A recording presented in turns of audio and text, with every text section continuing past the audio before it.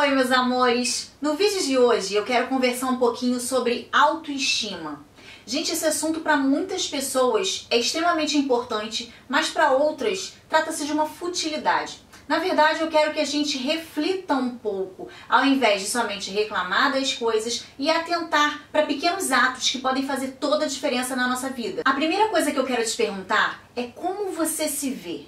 Você se vê de uma forma extremamente negativa, só enxerga seus defeitos, tudo que não dá certo, as coisas todas que você gostaria de ter feito e ainda não fez. Você enxerga somente os seus problemas físicos, pessoais, emocionais. Você se vê dessa forma negativa, como eu acabei de falar, ou você consegue ser grato pelo simples fato de estar vivo, de ter sua saúde, de poder produzir, de ter uma nova oportunidade a cada dia. Como é que tá essa relação? Uma outra coisa que não é balela, mas é indispensável que você cuide da sua imagem. Por quê?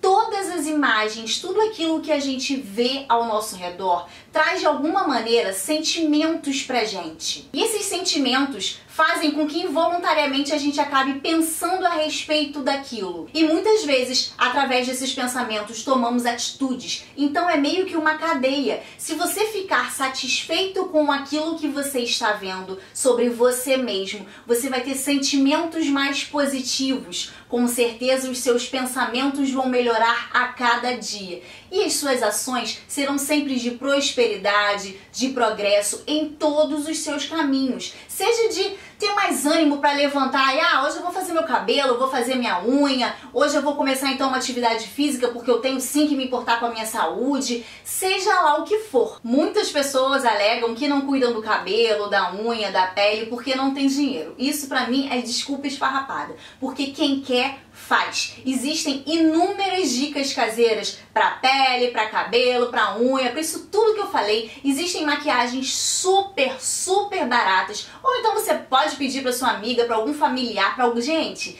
dá teu jeito. Para de ficar se vitimizando, para de ficar dando desculpa e falando: "Ah, mas eu faço, amanhã não sei o quê". Porque enquanto você tá aí dando desculpa, se vitimizando, outras pessoas estão fazendo acontecer. E essas outras pessoas estão produzindo resultados efetivos nas vidas delas. Tá borocochô, não tá animado, tá se sentindo meio para baixo? Pense a respeito disso. Não adianta nada. Você tem que dar o primeiro passo. O esforço maior tem que vir de dentro de você. Não adianta você ler mil e um livros de autoajuda, não adianta você fazer terapia, não adianta você fazer absolutamente nada se aquela fagulha não começar, não brotar, ó, daqui de dentro de você. Então, criatura, acende esse fogo interno, olha para você. Se você está vivo, ainda existe oportunidade de você crescer e melhorar em todos os aspectos da sua vida. E agora eu quero puxar brasa para minha sardinha e falar com os profissionais da área de beleza, porque tá chegando o final do ano e é a época que a gente mais trabalha dentro dos salões. Gente, é uma coisa de maluco. E aí o que que acontece? A gente fica sem tempo para cuidar da unha, do cabelo, vai trabalhar do jeito que der, vai no susto mesmo, se emburaca fazendo mil e um cabelos por dia e acaba ficando extremamente exausto, cheio de dor, com bursite, tendinite, essa coisa toda e esquece completamente da nossa própria imagem.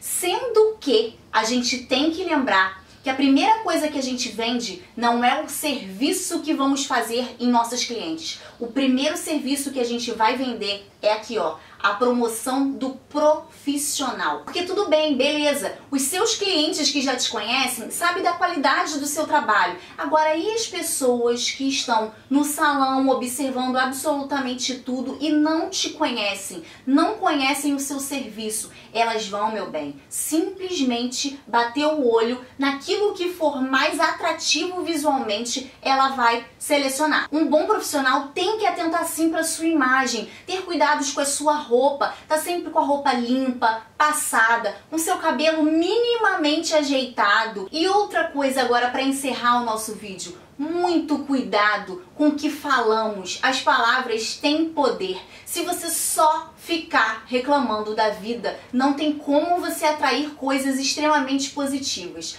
Olha como é que você tá só emanando negatividade. Então, como é que as pessoas vão se sentir satisfeitas, confortáveis ao seu redor? Não tem nada pior do que você perguntar para uma pessoa assim: Oi, tá tudo bem? Ah, tá tudo bem, essa crise aí tá acabando comigo, não tenho um cliente, salão tá vazio, tá um tormento, minhas contas estão para vencer. Tá, todo mundo já sabe que tá uma crise danada, que tá uma coisa de maluco, mas não adianta você só bater nessa tecla. Pode falar, olha, essa crise tá fogo, mas eu tô me desdobrando, eu tô procurando me inovar, eu tô tentando ver outras alternativas, porque o que importa é a gente ir pra frente e caminhar. Já mudou completamente o enfoque da mesma conversa. Você consegue perceber isso? Então é isso que eu quero para hoje. É essa mensagem que eu quero transmitir para vocês. Meus amores, se vocês gostaram desse vídeo, eu peço que você taque o dedo no gostei pra mim, se inscreva aqui no nosso canal, me siga em todas as redes sociais. Um grande beijo e até o próximo!